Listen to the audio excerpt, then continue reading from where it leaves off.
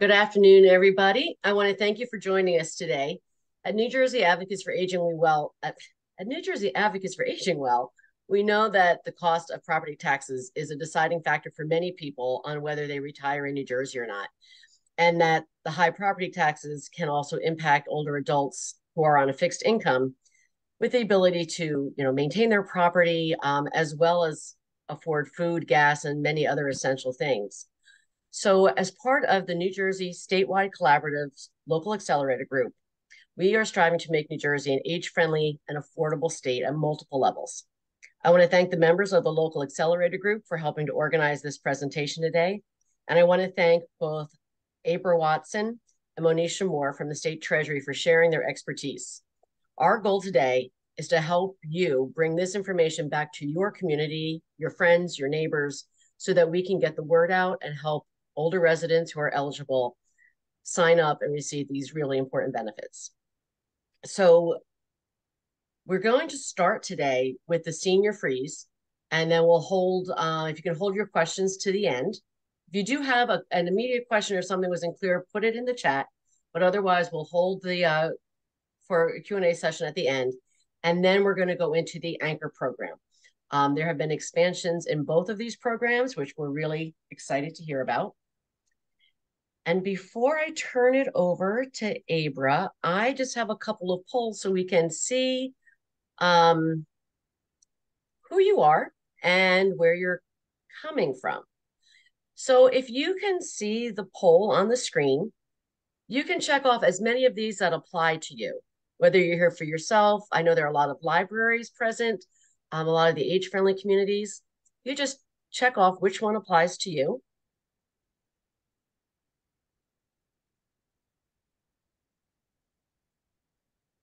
That's great. We have a lot of senior advisory advisory committees and um, local government. Terrific. And also, um, if you haven't yet, please put your name and the organization you represent in the chat so that we have a good idea of who you are. And, you know, if we want to reach out to you later, we know where to find you. This is going to be recorded and we'll send the link to everybody who has registered for the presentation.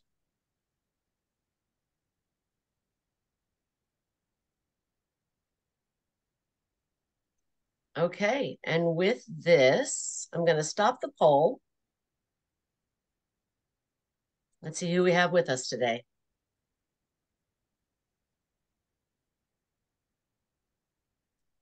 So we have a lot of people here representing themselves, local government, age-friendly communities, and social service organizations. That is great. Okay. Abra, now that we know who's here, I'm going to turn it over to you.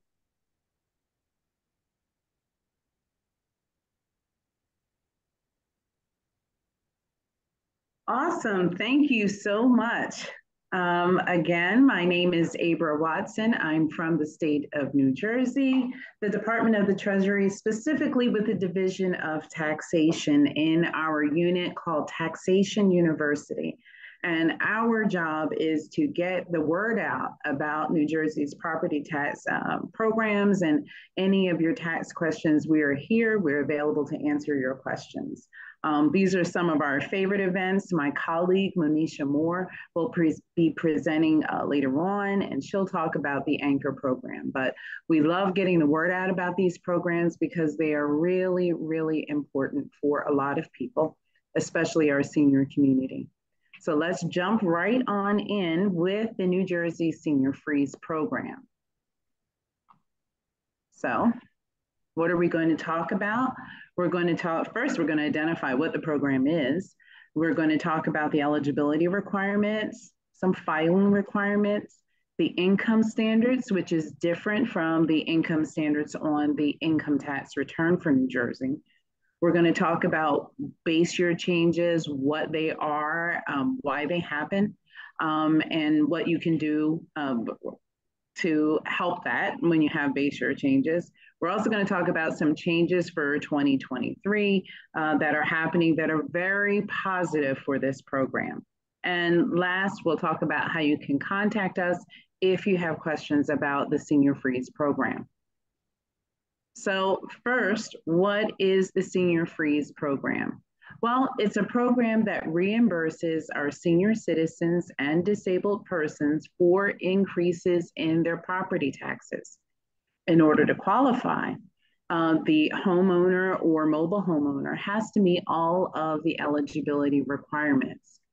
Once the, the applicant meets all of the eligibility requirements, they will be reimbursed for the difference in their property taxes or increases in their property taxes beyond their first year of eligibility. So we kind of put it here as an example on the slide to kind of uh, help make it clearer.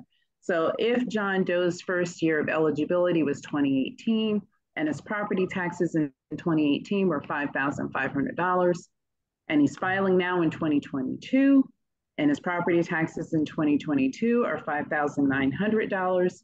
When he files his application, as long as he is eligible, he will property taxes and the 2022 property taxes. So in this example, uh, he would get $400.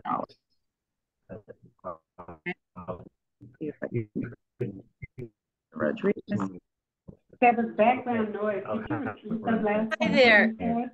Could um Luis Rodriguez, could you mute yourself? I'm not able to mute you and we're hearing background noise.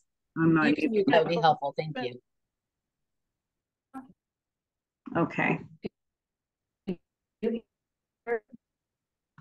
All right, are we good? Okay.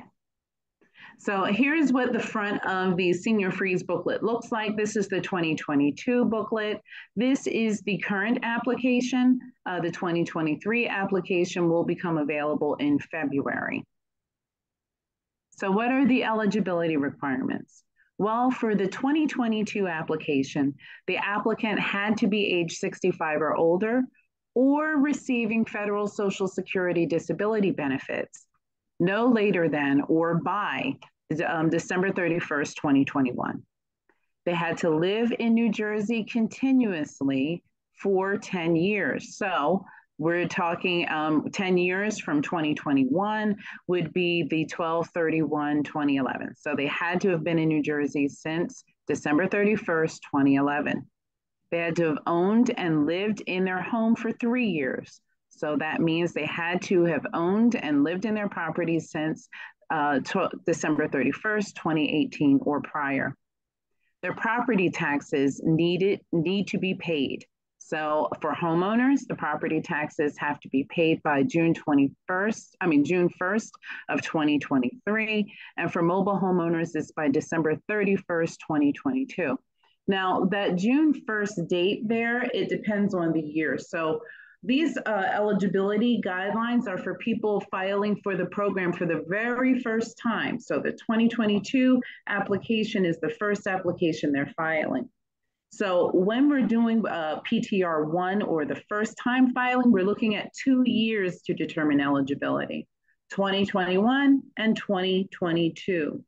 For 2021, the property taxes have to be paid by June 1st of 2022 the property taxes for 2022 have to be paid by June 1st of 2023. Okay, so you have till June 1st of the following tax year to make sure you have all of the property taxes for the prior year paid in. When it comes to mobile homeowners, they have to have their site fees paid by December 31st of the applicable year.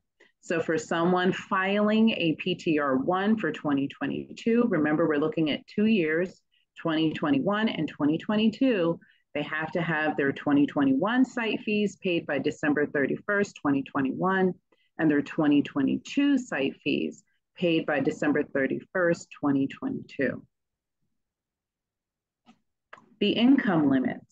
The income limits for 2021 is $94,178 for 2022, the income limit goes up to 99,735. So your income has to be at those dollar amounts or less. If your income exceeds the dollar amounts that you see on the screen, then you're not eligible for this program. The income limits also are the same regardless of filing status. So a single individual is 94,178 for 2021. For a married couple, it's the same income limit. The income um, requirement varies year to year. So on our next slide, you'll see we have a list of what historically have been the income limits um, for this program. And as you can see, it goes up a little bit each year. There's a cost of living increase that's applied to the income limit annually. So each year it'll go up a little bit. You'll also notice that from 2017 down, that the income limit uh, is 70,000 pretty much the same. And you'll see like if someone filing a PTR one, there it was different income amounts. So the reason, let me just give you a little bit, a brief synopsis of why that is. Property tax relief in New Jersey is based on the money that's available in the budget. So depending on what the budget looks like that year, there could be certain um, things or parameters that are put in the budget to limit the payout because there's not as much money in the budget as they would like. So in these years, 2017 through, tw- actually, I think it goes all the way back to 2009, we allowed people to apply and then we allowed people to maintain a base year. But if their income for that year exceeded 70,000, they didn't actually get a check. So just letting you know, because there was less money in the budget in those years, it was capped at 70,000 for people to receive a check. They might still be in the program, but they weren't actually getting a check if their income exceeded that amount. I am happy to say that uh, under our current administration, uh, Governor um, Governor Murphy has been really committed to paying this out to our seniors. So you'll notice, starting with 2018 moving forward, the income, whatever the income limit was that was originally published for this program, that was the income limit to receive a check. And um, since 2018, our seniors who are eligible for the program have been receiving their reimbursement. So that's a really good thing. There are certain properties that are ineligible for the Senior Freeze program. Uh, the bottom line is the um, the property that you are listing on your Senior Freeze application needs to be your principal residence. So if you own other properties that are not your principal or your primary residence, such as a vacation home, or you have rental properties, or you have other types of properties that would not be eligible, such as a property that has more than four units, it's not eligible for this program, even if you live in one of the units. Or you have a property that has four units or less, but you have more than one commercial unit Properties with more than one commercial unit are not eligible, even if you happen to live in the property.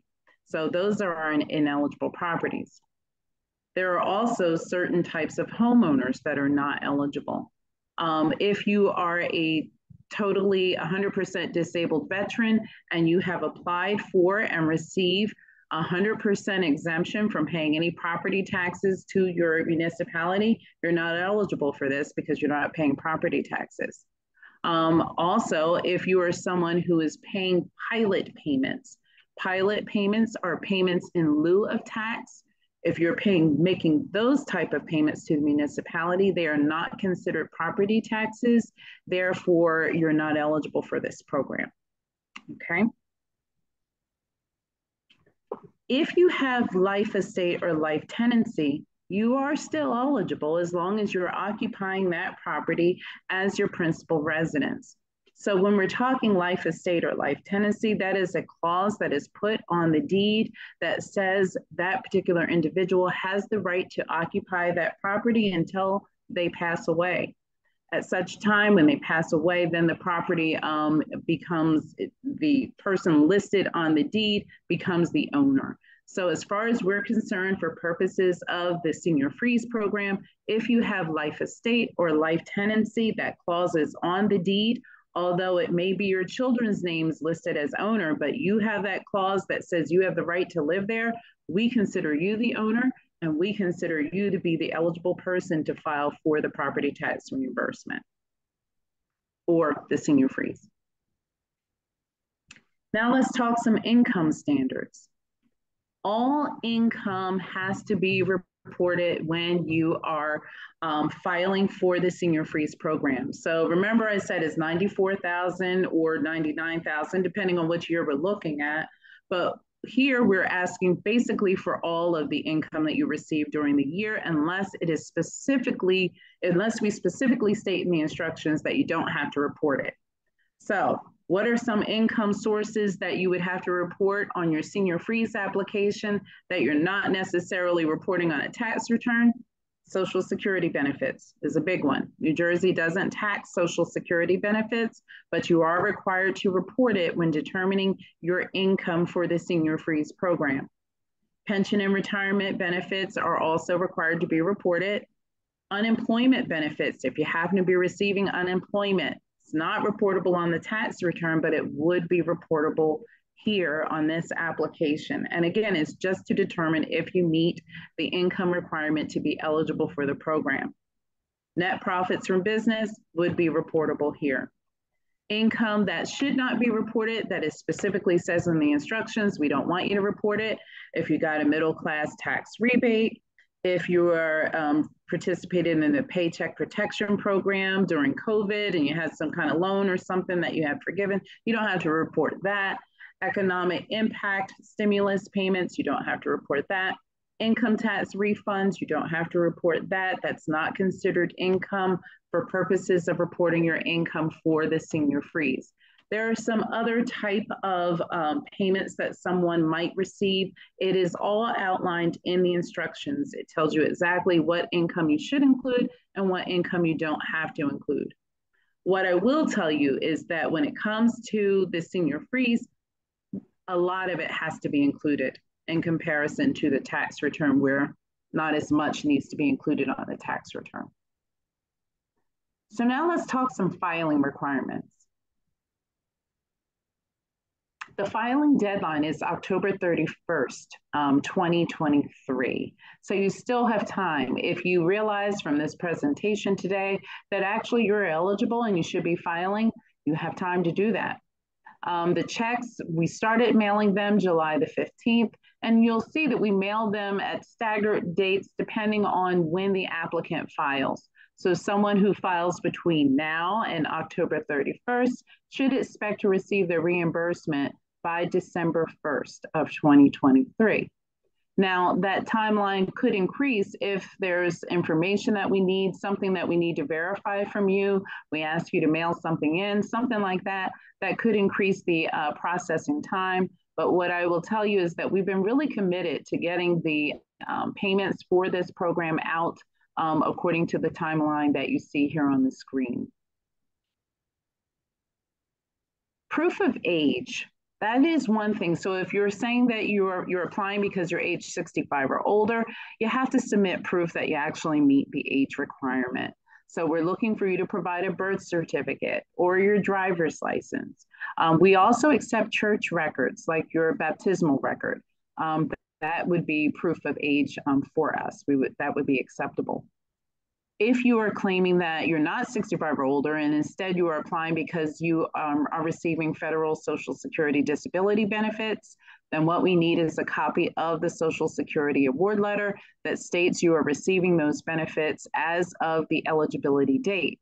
Now, remember, we're talking 2022. If you're filing for the first time, where you would need to be receiving federal Social Security disability um, benefits, no later than December 31st of 2021.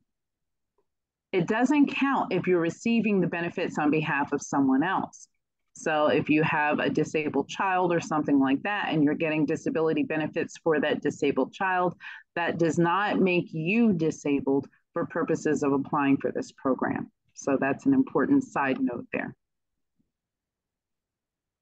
Another thing that you'll need to enclose with your application is proof of payment when it comes to the property taxes. So if you're a homeowner, we're going to require you to submit copies of your property tax bills so we know how much property taxes you were assessed by the township and proof that you actually paid them. So that would be copies of your canceled checks or receipts if you just take payment to the township and they stamp it. And um, that's that's fine as long as we can clearly see the stamp that payment was received.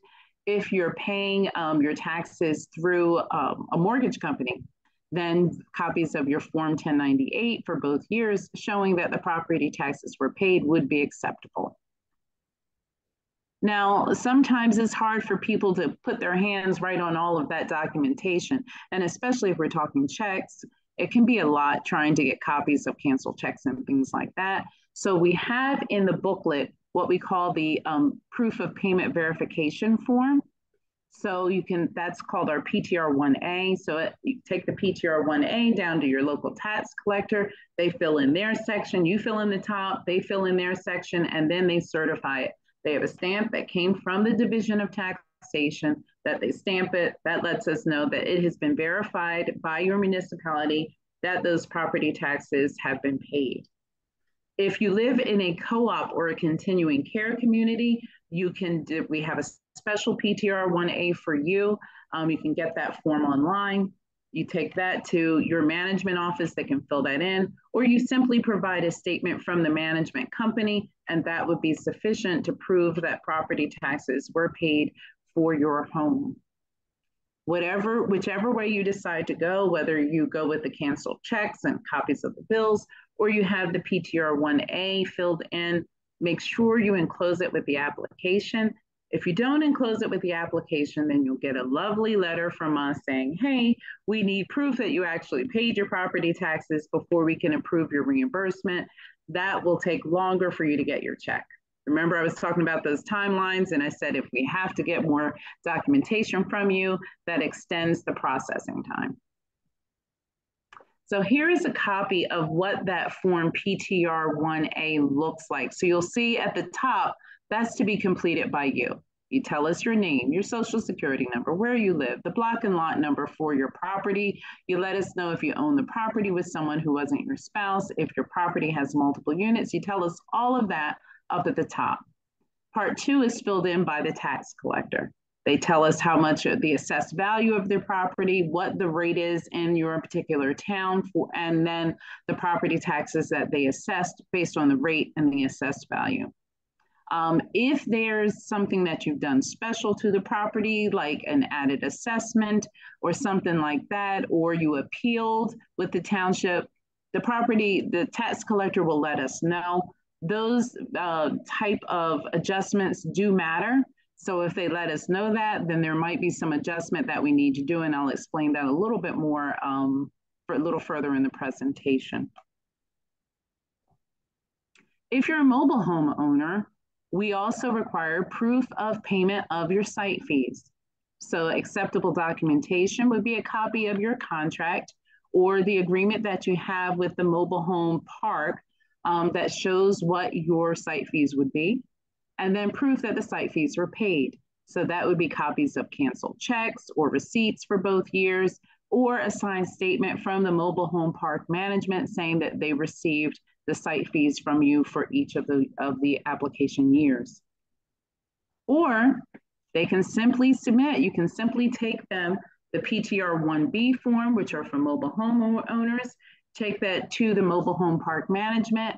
They're going to certify part two saying, yep, we received the payments that we needed to receive.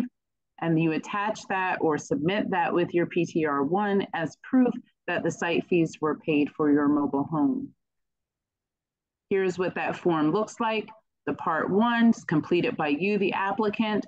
Part two is where the mobile home park management fills it in, letting us know what the site fees are, were, and that they were paid, certifying that it was paid.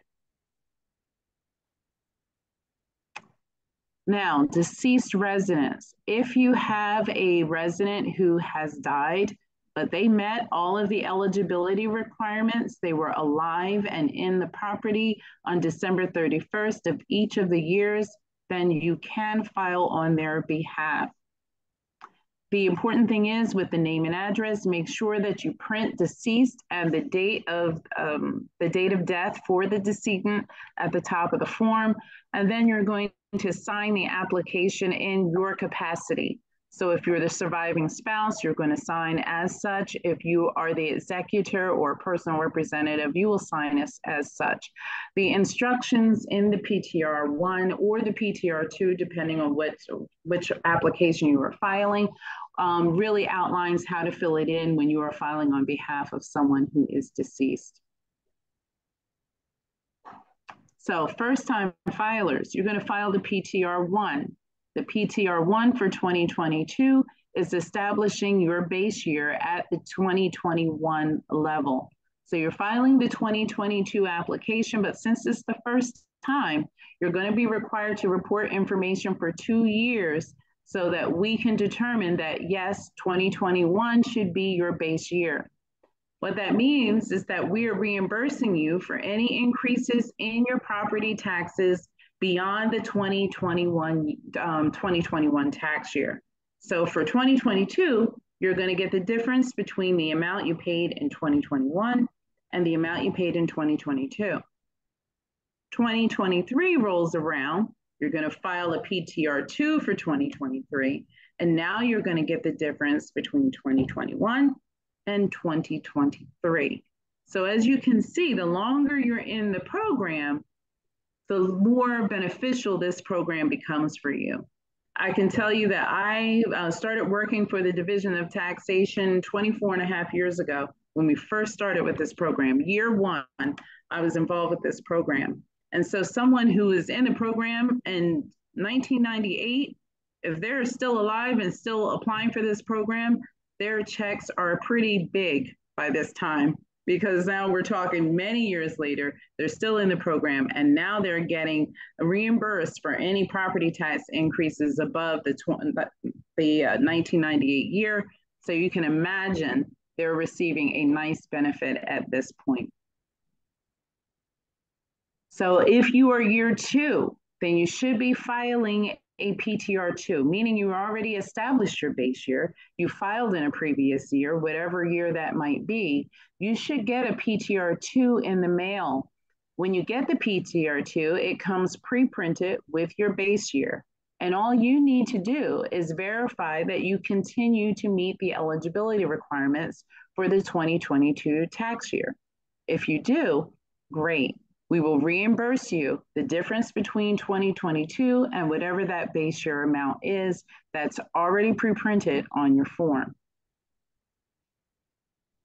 Well, what if you don't get the correct form? Suppose you've been filing for this all along and all of a sudden you get a PTR 1 in the mail. Well, what does that mean? Why did I get a PTR 1 when I've been in the program and I really should have received a PTR 2?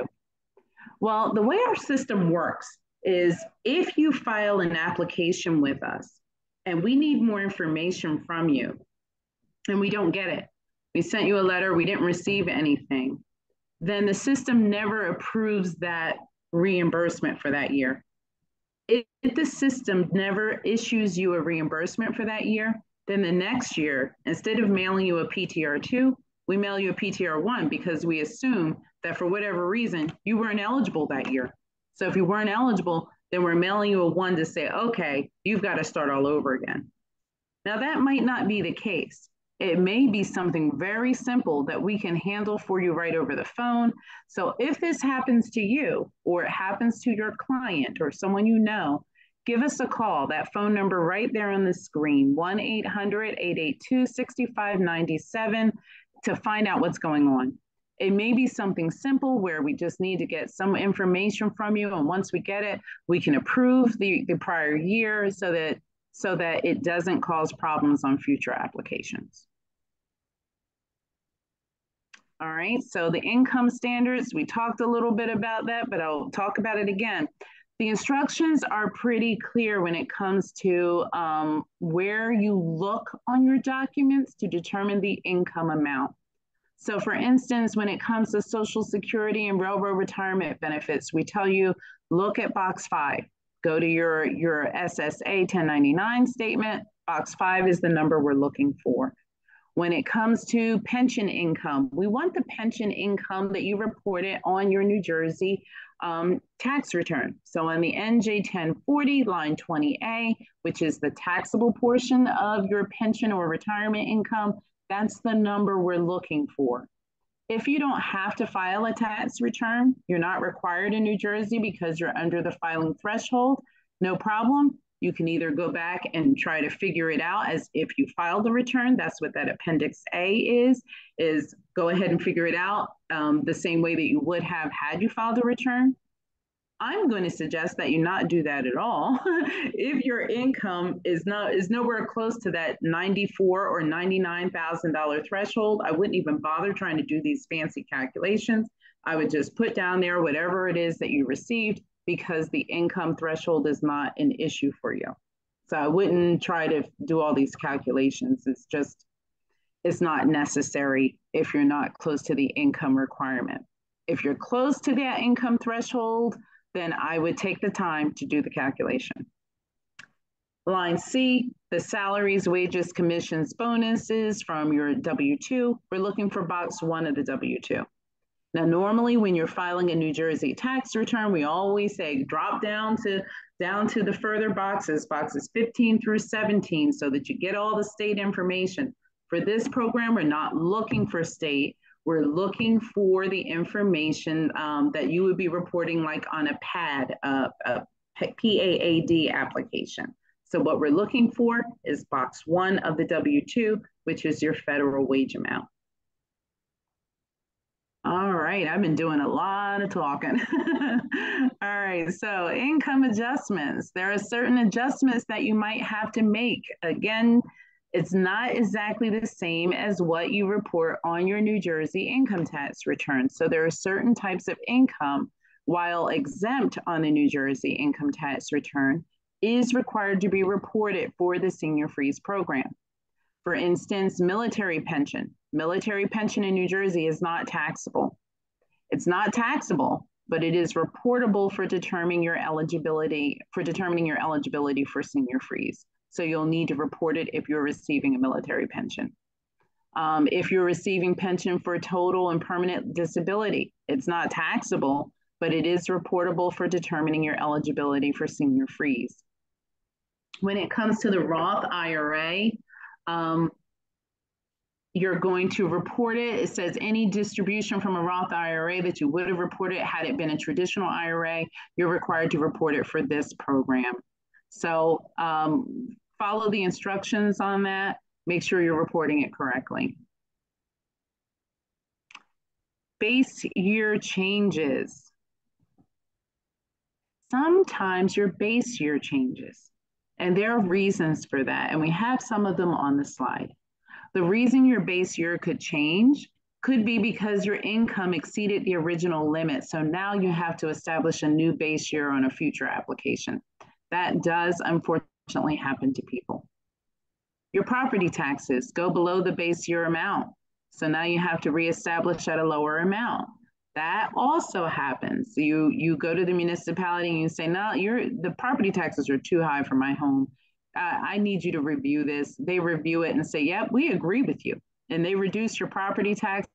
And if it reduces it below your already established base year amount, then you'll need to reestablish a new base year using the new lower amount. If you move, so you move to a new home, so many people downsize. Children are grown, everybody's moving. You know what? You don't need that big house anymore. So you downsize, that happens a lot. Well, if you move and go to a new property, you now have to live in that new home for two full tax years so that you can apply for a reimbursement using the base year based on the new home. Added assessment changes. Added assessments mean you have changed the property. If you have changed the property, that means that the property is not the same as when you originally applied for the, prop- the property tax reimbursement or the senior freeze program. So we need to take into account that the property is now different, which means that we would have to change your base year. All right, so what if you move? You decide you want to downsize. Remember, I said you have to establish a brand new base year because you no longer live in the same home. The good news is we have special provisions uh, in place. If you remember when I was going over the eligibility requirements, one of the eligibility requirements is that you had to live in your home for three full tax years before you're eligible. Well, for those that have already been in the program and have just moved somewhere else within the state, we allow you back into the program after two full years. So basically, once you've lived there two years and you know what the property taxes uh, are for two full years, now we have something to work with as far as calculating your reimbursement, and then we allow you to go ahead and apply again. That is a special application. It's called a PTR 1C. Again, we try to identify people that are already enrolled in the program. We know that you've relocated. Once we, if we can identify you, we will send you that PTR 1C automatically. Uh, if you don't receive it, you you realize that you probably should have and you haven't received it, contact us so that we can get you the right form so that we can get you back in the program as soon as possible. So let's talk a little bit about reevaluations and added assessments. First, the difference. Reevaluations are when the municipality appraises all of the property in the taxing district to ensure that they are fully and fairly uh, valuing their properties and, and assessing taxes fully and fairly for the homeowners and their municipality. So that's done township wide. Municipality, and this happened to me not that long ago. The town I live in, they reassessed everybody's properties, and our property taxes went up as a result if that happens, there's really no effect on your eligibility for the Senior Freeze program. As a matter of fact, if you're already in the program, fantastic. You're already in it. So if the township comes and does that to you and your property taxes go up $2,000, well, you already had an established base year. So you're going to get all of that money back because you are already in the program. Um, I can tell you, I was doing some, uh, Jersey City did a huge reevaluation at one point, and I remember going out to speak to them about this program. The people were up in arms as they had every right to be. Um, and those that were already in the program, they had nothing to worry about. Yeah, they would have to come up with the money to pay the property taxes, but we would reimburse them for those increases so they would get that money back. So a lot of people uh, left that seminar feeling uh, some relief, knowing that they were already in the program. For those that weren't already in the program, we helped them get get themselves uh, to get their applications filed so that they could get in the program and get the help they needed with those property taxes. Now, added assessment is a little different. Again, an added assessment means you have changed the property. For instance, you added an addition. You did something that has increased the value of the property, which resulted in an increased property tax amount. When it's an added assessment, because the property has changed, then we have to adjust the base year so that the base year reflects what the taxes would have been had that property look like that back in the base year. So that's something we handle on our end. When they go in, and I think if you remember when I was showing you the PTR 1A, I said, oh, there's a slot there where the tax collector can fill in that there was an added adjustment, uh, added assessment. When they fill that in and they say, yep, there's an added assessment, that triggers us in the Division of Taxation to take a look at it and make whatever adjustment we need to on the base year based on the fact that the property has changed. Appealed assessments. When it comes to appealed assessments, the result of an appealed assessment, remember I said that's when you feel like, hey, I'm paying more than what I, more than my fair share and you go to the township and you say, I'm appealing this, I want to be reevaluated. If that happens and they decrease the property taxes, they agree with you, you may need to notify us if we've already sent you a reimbursement based on your original numbers and now things have changed, you need to let us know. If that's the case, then you may, and we've already paid you, you may have to send some money back or they reevaluate you and they say, you know what, we weren't charging you enough. and they increased it even more. You already filed your application. You can let us know, amend your application, let us know that you had to end up paying even more so that we can reimburse you. All right, so what if you realize after this presentation today that you were actually eligible for this program five years ago and you didn't know anything about it you should have been applying five years ago. No problem. You can still go back and apply. Now, you may say, Well, does that mean I'm getting all those checks? Nope, doesn't mean that at all. As a matter of fact, we're not going to send you the checks for the years that are, were already outdated. We're not going to send you the checks. But what we will do is give you the base year that you're really entitled to, which can be significant. So if you forgot to file, you missed a year, you didn't know about the program, now you know. Go ahead and file PTR ones for the missing years for which you are eligible. Include your supporting documentation for each year. I highly recommend that you mail each year separately to make sure that they're all processed. Um, and what we do is we go in and we backdate your base year. So instead of filing a PTR 1 for 2022 that gives you a 2021 base year, if it turns out 2017 really should have been your base year, we will change it. We will make 2017 your base year as long as you file PTR 1s for each year um, up until the, the year that you're filing the 2022 year.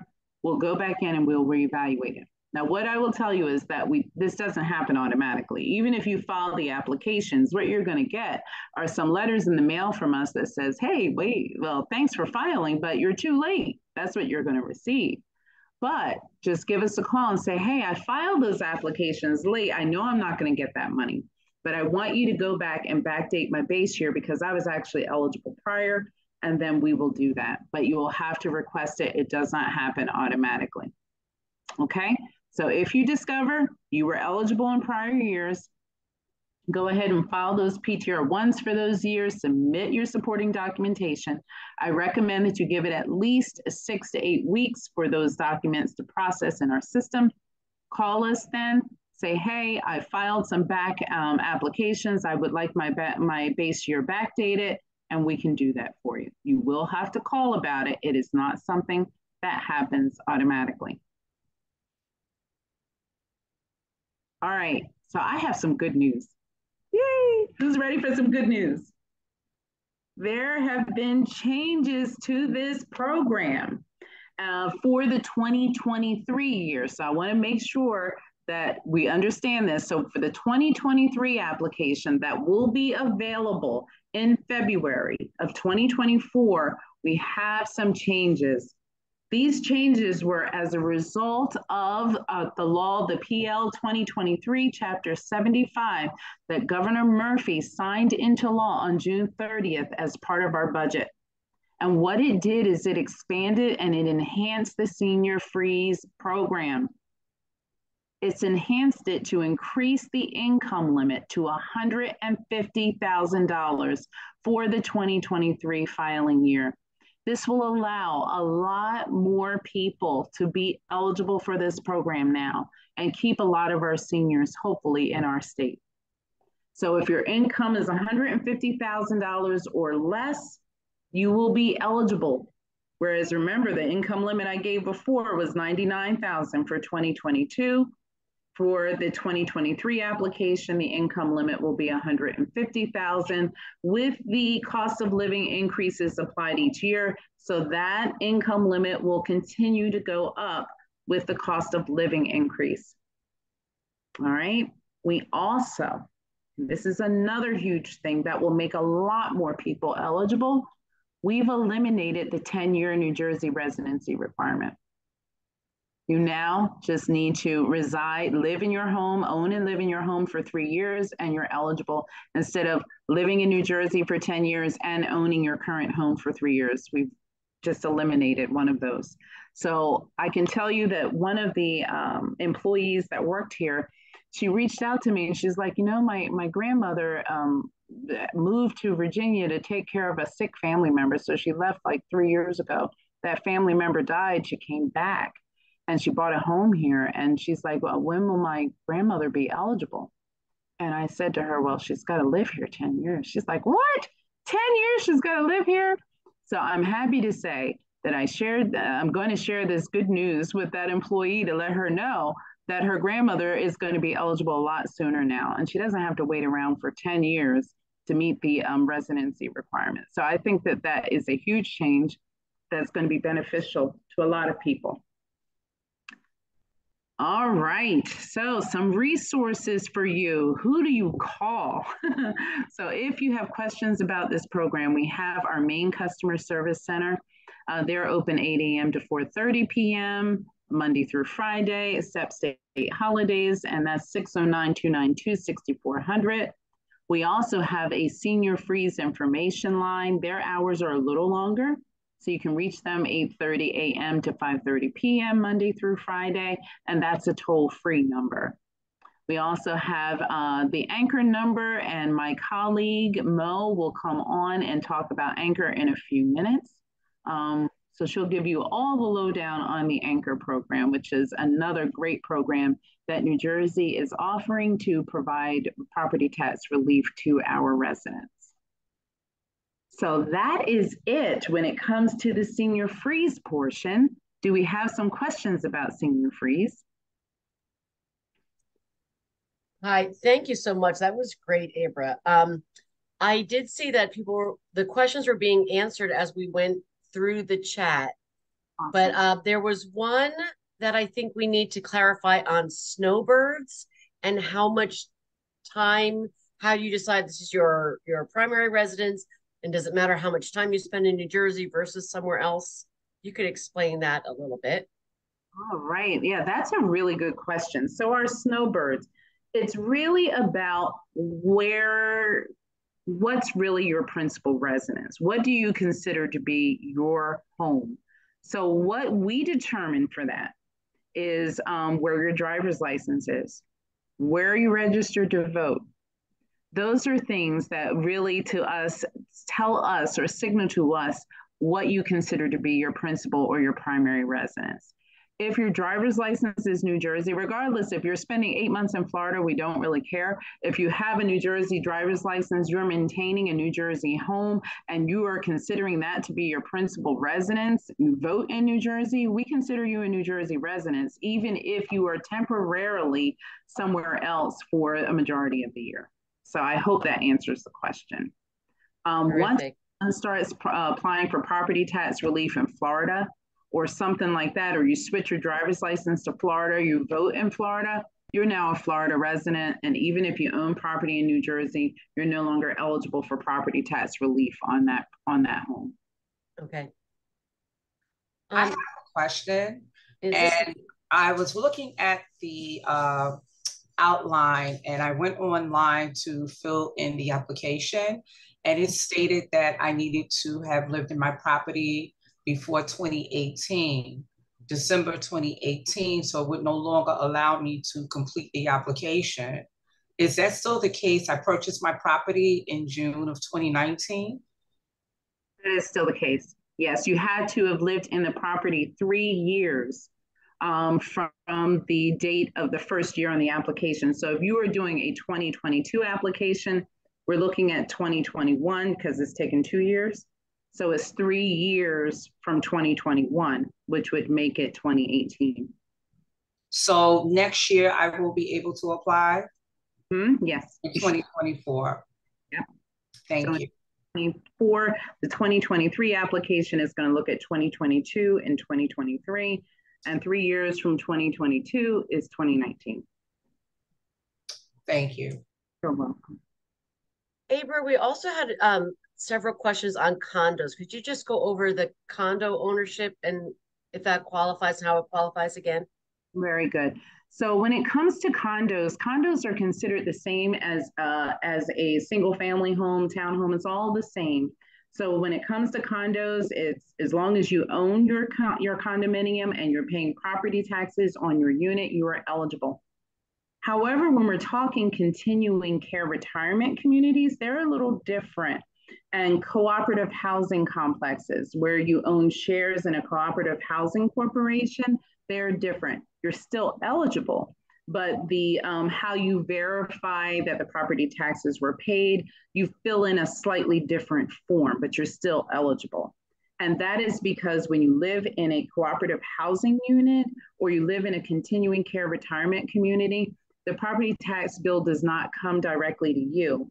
It goes to the management of that facility for all of the units.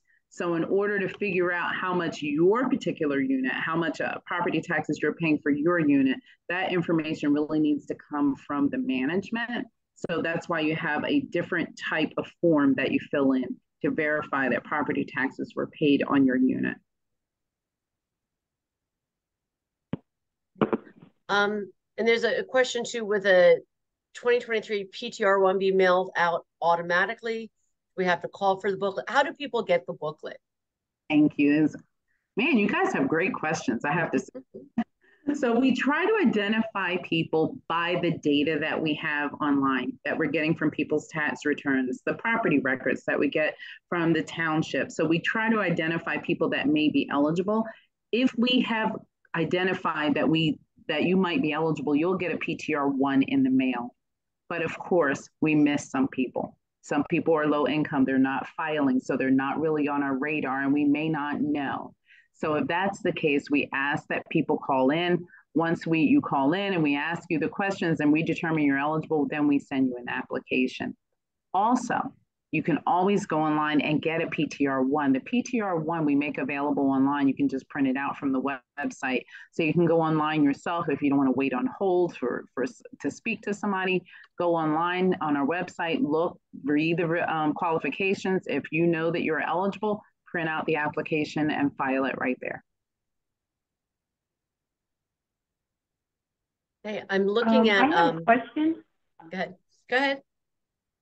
Um, I sent it in in the chat, but I'll repeat it. So I think you may have covered it, but I'm not sure. I've lived in New Jersey for most of my life, and I own a home and pay taxes until September of 2016. I left New Jersey, and I was gone for five and a half years. I came back uh, January of last year, but I bought my current home in November of last year. So does that disqualify me from qualifying for this program? It does because you haven't owned, you haven't owned the property long enough. Remember, I said oh, you have current. for three years. Okay, so, so, so, so it doesn't matter the fact that I own and pay taxes up until I left in 2016, but it's the current home that you're filing it on. That's, That's correct. that I, yes, ma'am. Okay, so that means I have to be here and paying taxes for three years before I would even qualify. That is correct. But here's the good news. You don't have to now wait the 10 years to have 10 consistent years of residency in New Jersey. They the requirement was 10 years combined. There couldn't be a break in there. So, you know, and now that we've changed the law, you actually can qualify in three years versus waiting 10 years to live here and then and three years to own the property as well. Oh my God. Hopefully the person will still be alive. no, right? That's what people tell me all the time. I, I know. So looking at um, the time, I want to um, move forward onto the anchor program section. But um, Abra, could you put in the chat if people wanted to reach out and have a presentation at their library or their senior center or in their town hall, can you please put that information in the chat for people to um to copy? Absolutely. And, and now we are turning this over to Monisha Moore. Thank you. Hi, everybody. Abra, thank you. I was trying my best to answer the questions in the chat, but I don't type as fast as I think I do. you did really well. thank you. Thank you. Than what I will do. I'm I'm even slower, Mel, with with typing, but I'll do my best. Okay. Okay. thank you. And Abra, please chime in because you know sometimes um I lose my words, my train of thought. Um, so I I did notice in the chat that someone asked if um, the senior freeze is different than anchor, and it is, but there may be people who are eligible for both. So just keep that in mind. So what Abra was talking about is for eligible homeowners and mobile homeowners, right?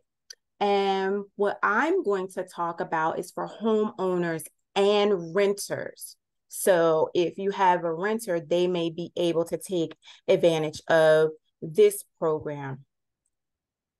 Give me one second. I wanted to tell you what Anchor stood for. I'm moving too fast. The Affordable New Jersey Communities for Homeowners and Renters program.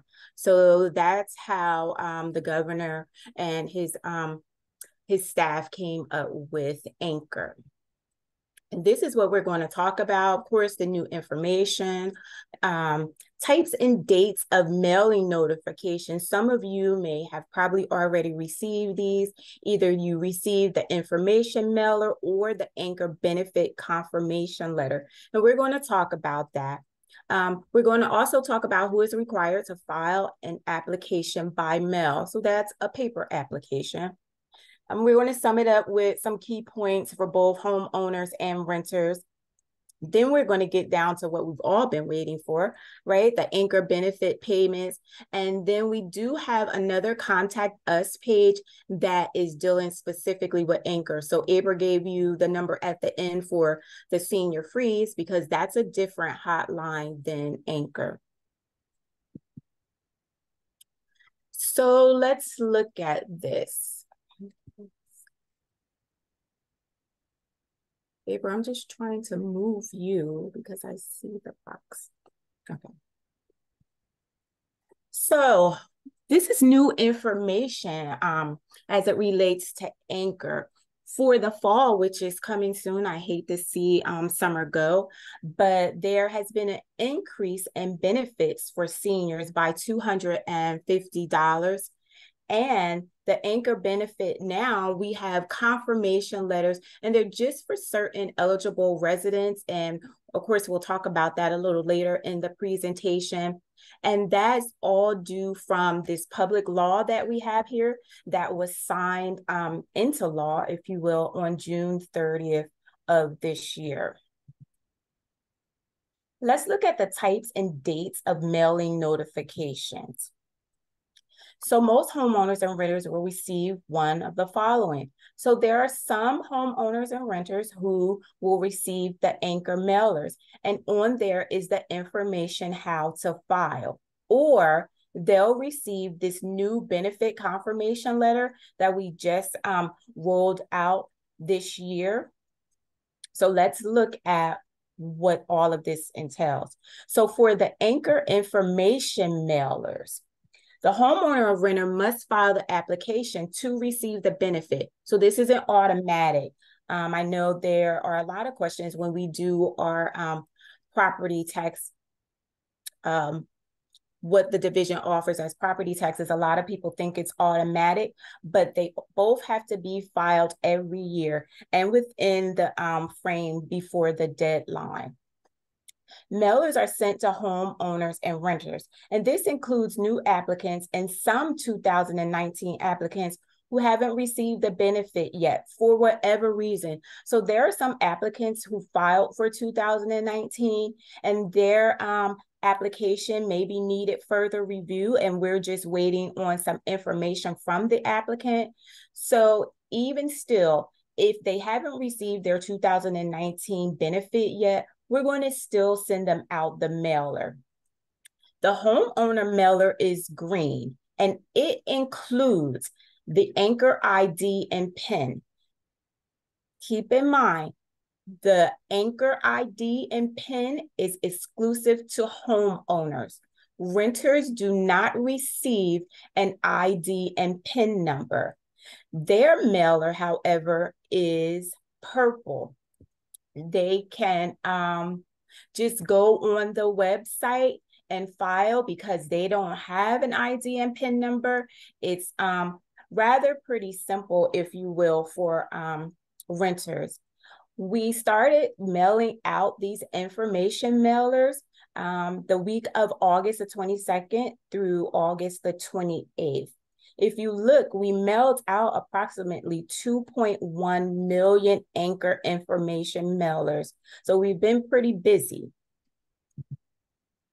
This is what it looks like. So if you look on the sides, you see that there's that perforation. And I think we're all familiar with that, right? You just tear it on the side and you open it up. And then inside is the information. So this is basically telling them if you're eligible for the 2020 Affordable New Jersey Communities for homeowners and renters benefit, whew, then this is the information that you would need to file. I want to draw your attention to the um, rectangle, if you will, there. For homeowners, you'll see that it says property location. So that will be filled in with the property location. Also, the identification number, the ID number will be there, and the PIN number will be there. Of course, it's not here because we don't want to share any personal information from anyone's account. We also have a QR code. If you know how to um, use the QR code, all you do, if you're familiar with taking pictures, all you do is open up your camera on your iPad or your cell phone, and you don't actually take a picture of it. If you just slightly hover over it, um, an e um, a website will show up, and then you just click it, and it takes you straight to how to apply. At the bottom of that rectangle there is the confirmation number.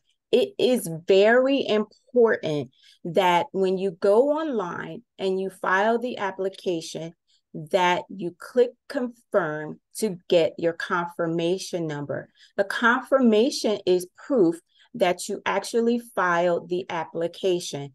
So you see, it says do not mail. We want you to keep this page for your records in case you have to call um, to get any additional help or inquire about your benefit. Want to draw your attention also to what we highlighted in red. So last year, 2019 anchor, we were asking for New Jersey gross income from 2019. And we saw that there was an influx of requests asking for the 2019 um, gross income. So we work with a young lady who was tasked with looking at all of those forms and sending them back out, trying to give people their income for 2019. Well, for this year, 2020 anchor, we're saying what we want, if you have it, is either your 2020 New Jersey gross income or your 2022 New Jersey gross income, which you can get off of your state return. It is not on your federal return. It's your New Jersey gross income, and it's on line 29. And the reason around it is that we've recently just filed that. Hopefully, people will have that in hand and it won't um, slow up the process. And of course, we have down there um, where you can get assistance, and we'll share more of that information a little later in the presentation. So now you see that this one is purple, and this is the mailer for renters. Once again, you just peel off the um, sides there um, I'm sorry, I didn't say that the deadline for this is December 29th. That's the last Friday of the year. Um, we often, well, we never have deadlines that are um, on holidays or weekends. So this is the reason why this deadline is December the 29th. So once they open this, they have the information much like the homeowners. But if you look in the box there, how to apply, you don't see the ID and PIN number and you don't see the property location. And that's because they don't need that information to file. They do, however, need to hit confirm and get a confirmation, a, confirmation number as well. That's the proof that they actually filed the application. They had the QR code, just like the homeowner's application did. And of course, we're looking for the same New Jersey gross income from line 29. Uh, they can use their 2020 or their 2022.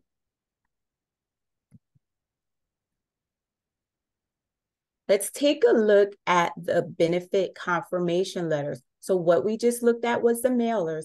Now we're going to look at these new confirmation letters. So homeowners and renters will receive an anchor benefit confirmation letter if they filed and received the anchor benefit earlier this year, and met the eligibility requirements based on the 2020 tax year. So our system will look and see who filed um, and received the benefit earlier this year or who met the requirements. And then we will issue them this benefit confirmation letter. Taxation will file on behalf of these applicants unless they need to make changes. So some changes could be maybe for 2019, they had one banking account, then they switched it. So they don't want us sending it to the old bank account. So if they need to update that information, they're going to have to file an application to let us know that information has changed. Um, they can file if their name changes or something like that. But if there are no changes, then they don't have to file an application. Taxation will file on their behalf. So they don't have to do anything if nothing has changed. We started sending these benefit letters out the week of August the 14th all the way up until the 17th. And we mailed out 1.3 million anchor benefit confirmation letters. This is what the confirmation letter looks like. It actually says on their anchor benefit confirmation letter, um, if you look at that black spot we had there, if you will, there's a QR code there and it's specific to the taxpayer. So that's why we kind of um, took that out. But if you receive it, you should have a QR code there and it means something. Um, it's just helping us internally, but we wanted to black that out for confidentiality purposes. This is a part of what the letter states. So we have people who either received it by direct deposit or by check.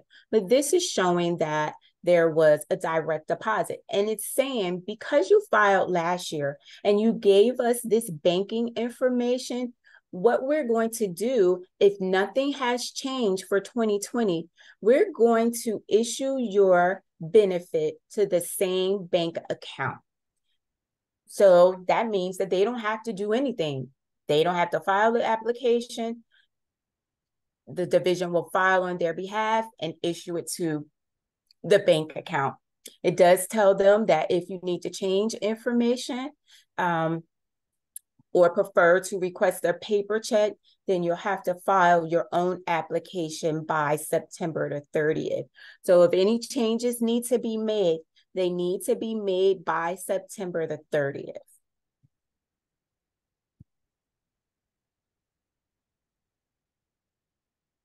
This is the letter if someone re received it their benefit in 2019 as a paper check. So it's saying if nothing has changed, if your mailing address hasn't changed, you don't have to do anything. We're going to file on your behalf. We're going to send the check to the address on file for your 2019 benefits. All benefits will be distributed um, around November the 1st. But it tells them the same. If you need to make changes or you want to request direct deposit this year, then you'll have to file your own application by September the 30th.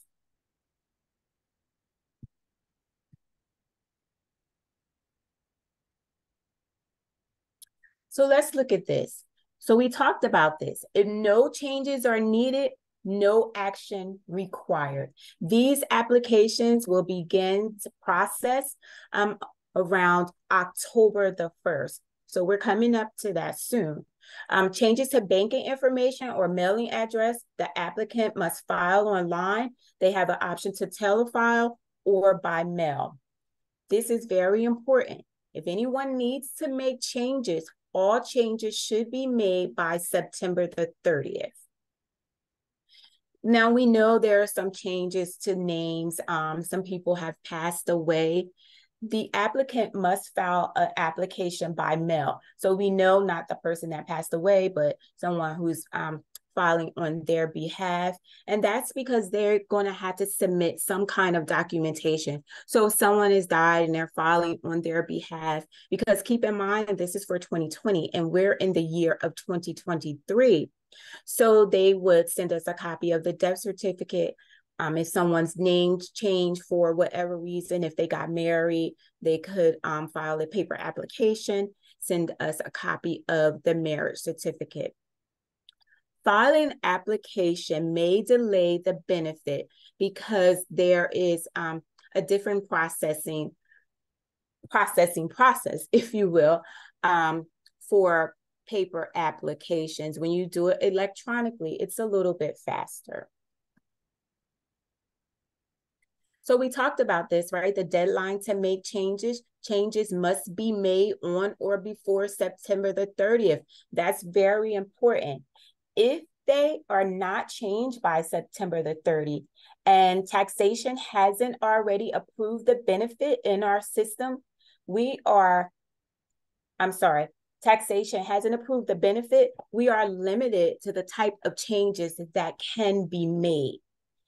If taxation has already approved the benefit, then unfortunately it's too late to make changes. So let's think about this. If someone didn't change, if they wanted to change their banking account information, but they don't do it by September the 30th, what do, so it's like um let us know before we already start the process because once we start the process of sending it direct deposit there's no way for us to pull it back so it's very important when you're talking to your clients or your constituents to let them know that if they need to make changes, um, September the 30th is coming very quickly. So they want to get those applications in along with the changes and also with the proof, the reason why they're changing something.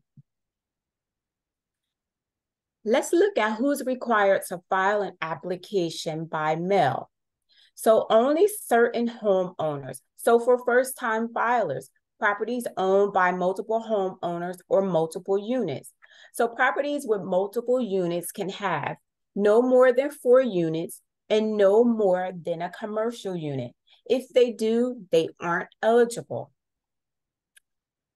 The homeowner letter, homeowner letter or mailer with the incorrect name or a name requiring a change. So that's who can file by paper, right?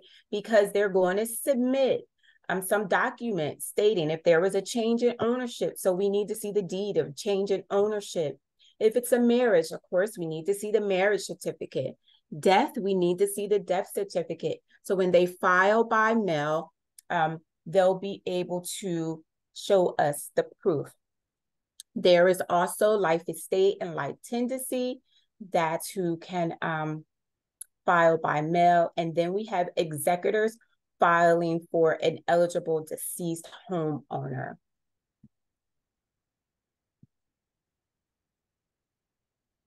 So here is the front of the application, Anchor H. So Anchor H is for homeowners and it sums it up right here, what we just had on the previous slide. Use this form if you share ownership, if your main home was a multiple unit property, um, if you're filing for a property held in a trust, or you're considered a homeowner for purposes for the anchor benefit, but you were not the actual owner of record.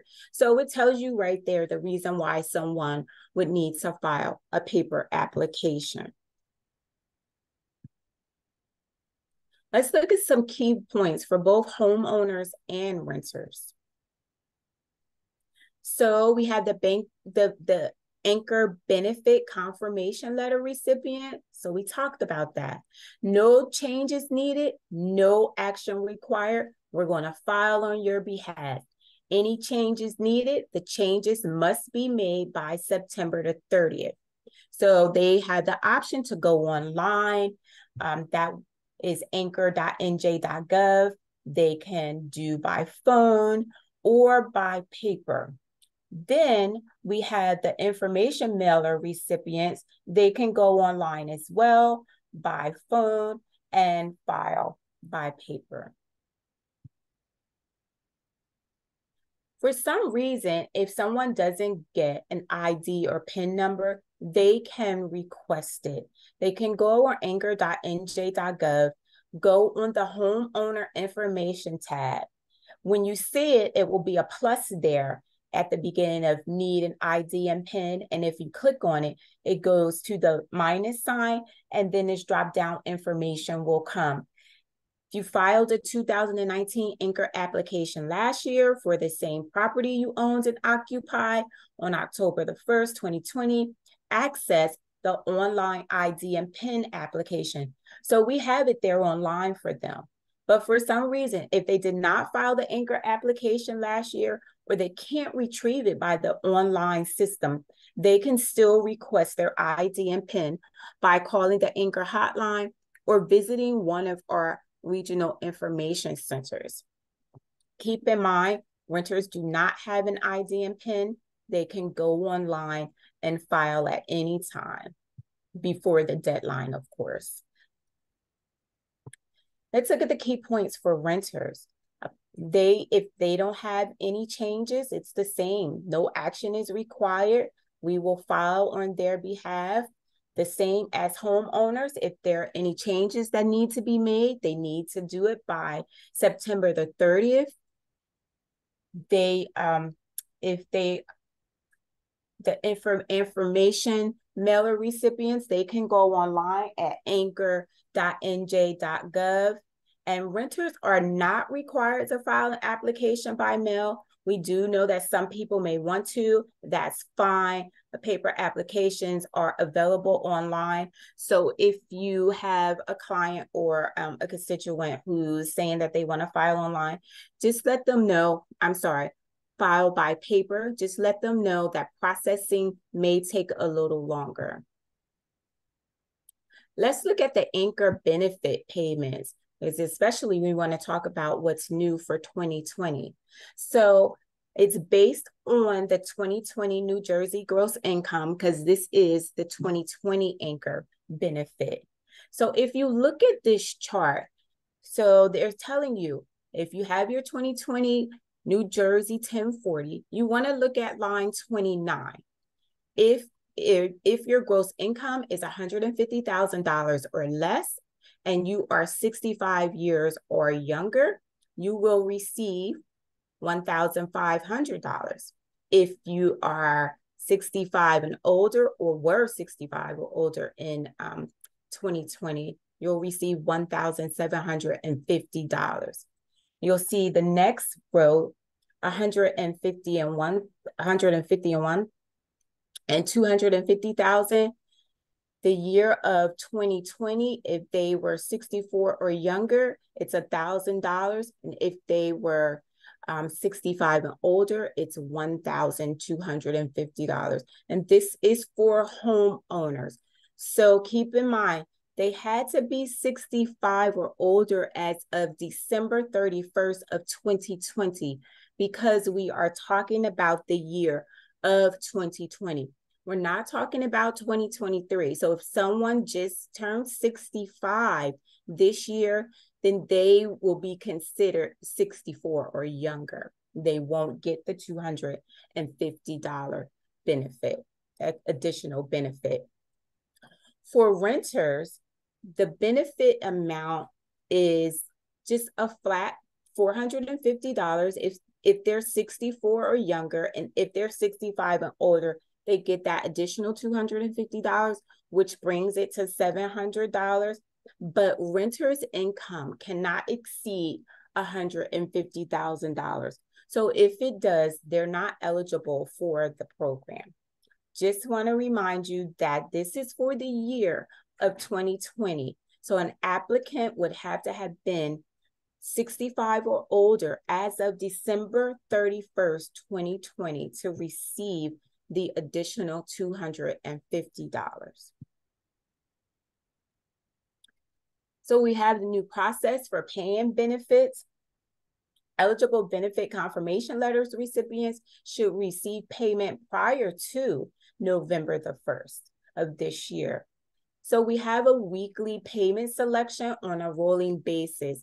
So this is different from last year. Last year, we sent out things by, um, we sent out mailers by county and we had like a schedule of when the payments would be going out, the benefit would be going out, but we're doing it on a rolling basis this year. So payments will be issued approximately 90 days from the date of filing the application. If you filed and you want to check your benefit status, you can use our online inquiry system, but please allow up to 10 days from the filing date. If for some reason you need to file by mail, allow 60 days from the filing date to check your benefit status on the online inquiry system. If taxation needs to verify any information, the process may take a little longer. We have to outreach um, the applicant, wait for the information, look over the information, make sure everything is okay, and then process the payment. So it may take a little longer.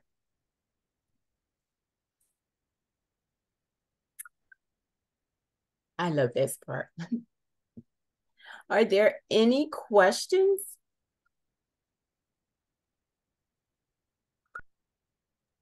Yes, I have a question. I have a question. Yes. Go ahead. Um, um Abra, or Abra, I don't know how she pronounced her name, Abra. previously said um, that she was going to send out a contact for if you want someone, either she or you, to speak at the library or community center, but I didn't see that in the chat room. So I, I put it in the chat, uh, just the link, because that link comes directly to Taxation University. So that comes directly to us. Um, if you want a specific speaker, you could always put our name in there. And if we're available, we can we will certainly do our darn our darndest to attend that uh, to attend that event. But I, I link in there to go online to request a speaker. Did you see that? No, I did not. That's why I'm bringing it up. I didn't see the link to request this speaker. I saw the link like if you wanted the PDR, PTR 22 or 23, what link that was, but I didn't see the link to request a speaker. Oh, I'll, I'll also put that in the email when we send you the recording. So I'll send that out to everybody who's registered. Okay, thank you. Thank you. I have a question too. I have a question. Okay, let's do Irene and then Savella. Irene first. Okay, Savella. Savella. Hello, thank you for the presentation. Uh, first of all, uh, as far as I'm concerned, I filed for Anchor last year and I got uh, a letter today, uh, not today, uh, this year that I don't need to do anything. So thank you for that. Uh, my son is eligible for Anchor program uh, this year. However, uh, he was renting an apartment with a girlfriend and uh, they are no longer together. Uh, how can, can he file for uh, Anchor? Yes, he can file for Anchor even if he was not claiming rent on his returns? Did he pay rent? Of course. So yes, he can file for the Anchor program. Okay, thank you. You're welcome. And then Savella? I don't know if yes. I'm saying that right. So I, I may have, yes, it's Savella. I may have missed this in the beginning of the presentation, two questions. One, what is the purpose of this anchor program? If I missed it, I probably did. And also, is it only for 20 starting in 2020? No. So what the anchor program is is a so in 2018, I'll just go back to 2018. 2018, we had the homestead benefit program. But we didn't reach a lot of residents, if you will, because of the income. So the income kind of knocked a lot of people out. This has now, the new law has expanded the um, income eligibilities are a little bit higher. So now we're able to, the limit, if you will, now we're able to reach more applicants. So it changed, if you will, what the homestead benefit program used to be. Now we're just beginning with the year of 2019. So what happened when they had the homestead benefit? There was a pause, if you will, in a few years of administering the homestead benefit due to the budget. But when they started it back up, instead of starting it back up at the year that the world was all in, they started it where they left off. So that's why we're behind, if you will. So last year was the first year of Anchor, but it was for 2019. This year it's for 2020. And we don't know like if they'll ever catch up. But if they do, then homeowners and of course renters are going to miss out on some years of benefits. So, and the purpose of it is it is a property tax relief. That's what it is. So, homestead benefit used to give people a credit on their property taxes and the applicants would just never see it really but now with the anchor program, you can actually get that money in hand, if you will. So the renters, um, they get $450 before they couldn't get anything in the homestead benefit program. So this is one of the property tax relief programs that um, the state of New Jersey Division of Taxation administers, just like the senior freeze that Abra talked about in the beginning. And so one more thing. So based on that, so you would send this form out to the homeowner or the renter automatically. Um, and, and that means that if they're qualified age-wise based on their tax returns that you received for each, that year?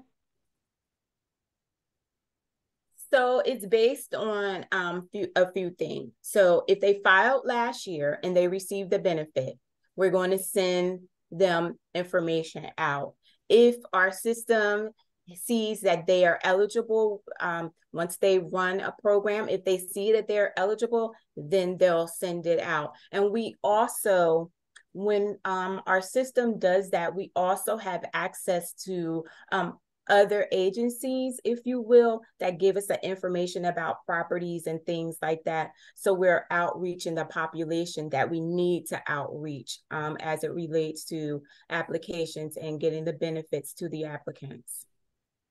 Okay, very good. Thank you very much. You're welcome. So what is the um, uh, uh, the time frame of eligibility for Anchor? Could you say it again? I'm not sure what you mean the eligibility. Um, that you had to. Uh, when uh, uh, were you supposed to be a renter in order to qualify for? Uh, as of as of October the first of 2020.